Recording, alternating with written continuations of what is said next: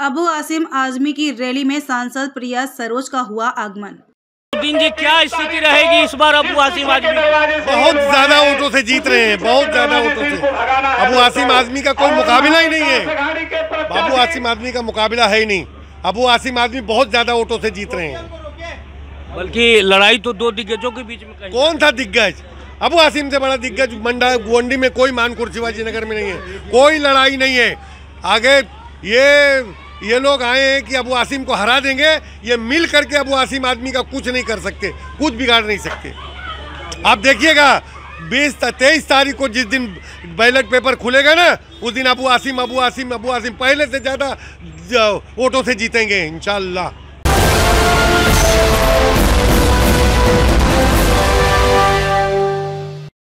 मुंबई के मानखुर्द शिवाजी नगर विधानसभा से सपा के बैनर तले चुनाव लड़ रहे वर्तमान मानखुर्द शिवाजी नगर सपा विधायक अबू आसिम आजमी की पदयात्रा निकाली गई, जिसमें काफ़ी संख्या में लोग मौजूद रहे। इस रैली में उत्तर प्रदेश से कई समाजवादी पार्टी के नेता शामिल हुए। वहीं समाजवादी पार्टी की सांसद प्रिया सरोज व विधायक तूफानी सरोज भी मौजूद रहे जिन्होंने अपनी मौजूदगी दर्ज कर रैली में चार चाँद लगा दी। यह रैली मानखुर्द के मंडला इंदिरा नगर से निकलकर समूचे मंडला तक चली। देखिए एक रिपोर्ट। समाजवादी पार्टी का एक काफिला सा नज़र आ रहा है। ये इंदिरा नगर का इलाका है जहाँ काफ़ी संख्या में महिलाएँ और पुरुष मौजूद हैं। हम आपको बताना चाहेंगे, समाजवादी पार्टी से लगातार चौथी बार चुनाव लड़ रहे आदिवासी आसिम आजमी एक बार फिर इस चुनावी मैदान में उतरे हैं, जहाँ काफ़ी संख्या में महिलाएँ हैं। और कहीं न कहीं कहा जा सकता है कि इस बार का जो लड़ाई है वो दो दिग्गजों के बीच में होते हुए नज़र आ रहा है। ये रैली निकाली गई है। स्वयं गयासुद्दीन शेख जो कि तालुका अध्यक्ष हैं वो भी नज़र आ रहा है। मैडम क्या नाम है आपका? जी हमारा नाम प्रिया सरोज है। सांसद मछली शहर से हैं। सांसद कहाँ की हैं? मछली शहर जौनपुर। मछली शहर जौनपुर के हैं। क्या कुछ स्थिति रहेगी इस बार अबू जी हम यही कहेंगे अबू आजमी जी को जिताइए और खोखे की सरकार हटाइए। क्योंकि जनता समझ चुकी है कि केवल ये संविधान के विरोध काम कर रहे हैं और जनता को ठगने का काम कर केवल उद्योगपतियों का विकास कर रहे हैं। इस बार जो स्थिति बनी अखिलेश यादव जी की उत्तर प्रदेश के चुनाव में कैसी स्थिति यहाँ भी वैसी ही स्थिति बनने वाली है क्या कुछ कहना चाहिए देखिए लोकसभा के चुनाव में जनता समझ गई थी कि ये जो भाजपा पार्टी और जो इनके अलायंस है ये संविधान विरोधी पार्टी है। और पीडीए के जो स्लोगन हमने शुरू किया था जनता समझ के पीडीए ही सबका मान सम्मान बढ़ाएगी पीडीए ही हमारे आरक्षण को बचाएगी पीडीए हमारे संविधान को बढ़ाएगी और पीडीए ही आम जनता के हक अधिकार को दिलाएगी। कहीं न कहीं कहा जा सकता है कि समाजवादी पार्टी का एक बढ़ता हुआ विस्तार नज़र आ रहा है अबू आसिम के वजह से। क्या कुछ रहा है आप?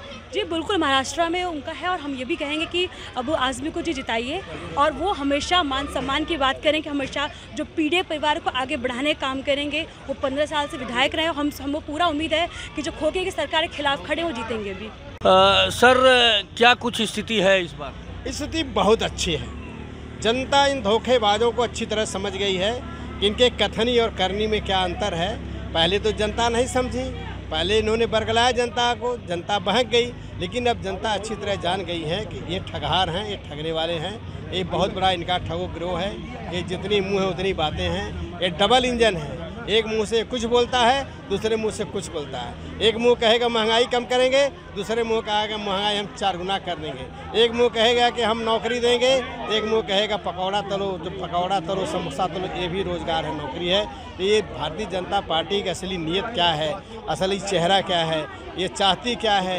हिंदुत्व का मुद्दा लगा करके, हिंदुत्व के आड़ में जो है वोट ले करके किस तरह से बैकवर्ड दलित का हितों का हनन करती है, इस बात को जो है देश का पूरा शुद्ध, समाज अच्छी तरह भाजपा को जान गया है। सरोज जी एक एक और सवाल आप उत्तर प्रदेश की राजनीति को देखते हैं बखूबी समझे हैं आप? और महाराष्ट्र की राजनीति में क्या अंतर आप पा रहे हैं? नहीं अब महाराष्ट्र की राजनीति उत्तर प्रदेश की राजनीति कोई अंतर नहीं है।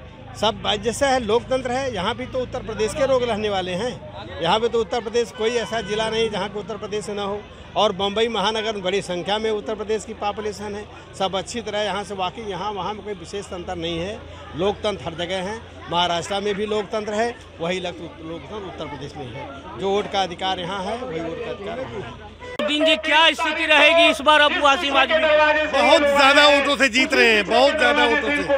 अबू आसिम आजमी का कोई मुकाबला ही नहीं है। बाबू आसिम आदमी का मुकाबला है ही नहीं। अबू आसिम आदमी बहुत ज़्यादा वोटों से जीत रहे हैं। बल्कि लड़ाई तो दो दिग्गजों के बीच में कौन था दिग्गज? अबू आसिम से बड़ा दिग्गज मंडा गोंडी में कोई मानकुर शिवाजी नगर में नहीं है। कोई लड़ाई नहीं है। आगे ये ये लोग आए हैं कि अबू आसिम को हरा देंगे।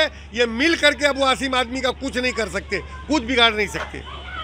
आप देखिएगा, बीस तेईस तारीख को जिस दिन बैलेट पेपर खुलेगा ना, उस दिन अबू आसिम अबू आसिम अबू आसिम पहले से ज़्यादा वोटों से जीतेंगे, इंशाल्लाह। अबू आसिम आदमी, जो कि समाजवादी पार्टी से मानखुर शिवाजी नगर के प्रत्याशी हैं, आज उनके बीच तमाम लोग यहाँ जो काफ़ी दूर से चल के आए हैं। और क्या कुछ कहना है ये हम जानते हैं। सर क्या नाम है आपका? अहमद हुसैन खान मैं जनपद बस्ती से आया हूँ। जनाब अबू आसिम आजमी जी के लिए। अ, क्या कहना चाहेंगे आप पहले तो सबसे पहले आपका बहुत बहुत शुक्रिया कि आपने हमको टाइम दिया। हम बता हम यहाँ जनाब अबू आसिम आजमी साहब चुनाव जीतने जा रहे हैं। ये लोग गुमराह कर रहे हैं जो लोग। वो खुद बिल में घुस जाएँगे 20 तारीख के तेईस तारीख के बाद जिस दिन रिज़ल्ट आ जाएगा। और यहाँ की जनता ये जनसैलाब बता रहा है कि जनाब अबू आसिम आजमी साहब बहुत भारी मतों से जीतने जा रहे हैं। ये ड्रग के कारोबारी लोग जो हैं ना, ये सब बिल में घुस जाएँगे। और वो जनाब अबू आसिम आजमी साहब यहाँ के सर सैद हैं। यहाँ के पानी की समस्या, लाइट की समस्या, स्कूल की समस्या, सारी समस्या को इन्होंने हल किया है। विरोधी पस्त हो जाएँगे और सब भाग के चले जाएँगे किनारे। जो कुछ सामने लड़ रहे हैं, दीपक और सूरज की बात है। आदमी साहब सूरज हैं। इनकी औकात नहीं है ये सामने खड़े होकर के बात कर लें। आजमी साहब देश के नेता हैं। यहाँ जो लड़ रहे हैं वो कुरला अंधेरी यहाँ के नेता होंगे। वो देश प्रदेश के बड़े नेता हैं। जैसे अखिलेश यादव की स्थिति बनी जी। विधानसभा चुनाव में जी। तो उसी तरीके से अबू हासिम आजमी की स्थिति बनने वाली है। क्या कुछ कहना है? बिल्कुल बनने वाली है। पीडीए हमारे साथ चल रहा है। यहाँ की हिंदू, मुस्लिम, सिख, ईसाई सब सब लोग चल रहे हैं, गोंडा, बस्ती, सिद्धार्थनगर, देवरिया, आजमगढ़, पूरा जन सैलाब ये पूरा आपको बता रहा है। जनाब अबू आसमी आजमी साहब चुनाव जीतने जा रहे हैं और आने वाली तेईस तारीख को एकदम सब हवा साफ़ हो जाएँगे सब लोग।